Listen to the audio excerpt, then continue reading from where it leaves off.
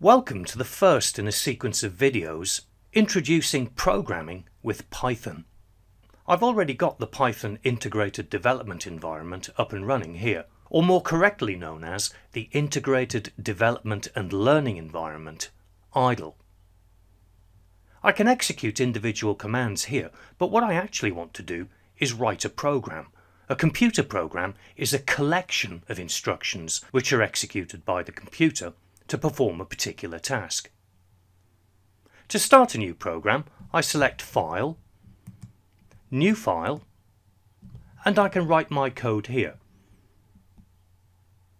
I want to perform some simple output. I want to display a message on the screen, and I can do that using the print command, like this. One instruction, now let's be clear, the print command doesn't actually print anything, it displays text on the screen.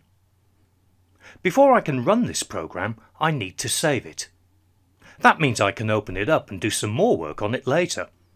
To save it, select File, Save As, and then browse to an appropriate place to save it.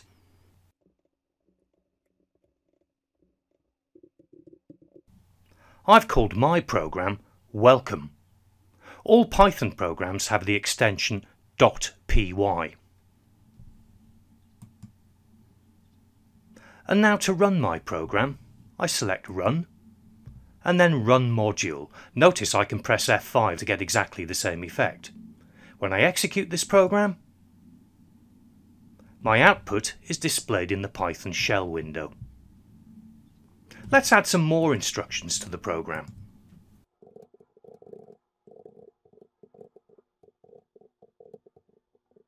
Every time you make a change, you'll need to save it again, but if you just select Run, Python will invite you to save it. And this time I've output three messages, one after another. There are a few things you need to bear in mind. If we want to output a string of text characters, we must enclose them inside double quotes. Watch what happens when I leave out one of the double quotes.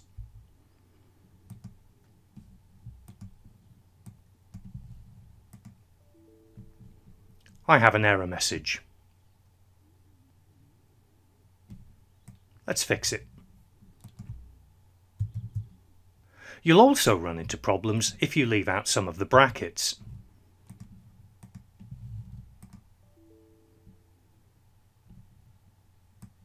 You can see a computer program is pretty fussy. We have to obey the rules of the language.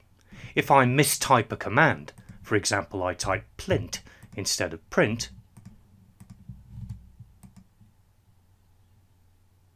This time the program seems to be running, but it falls over when it hits this command.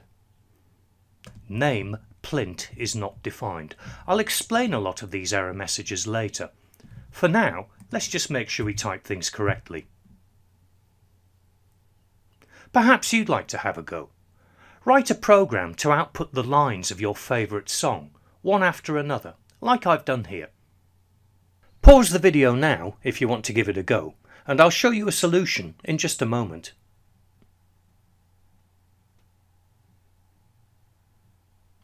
And here's my solution. Twinkle twinkle little star.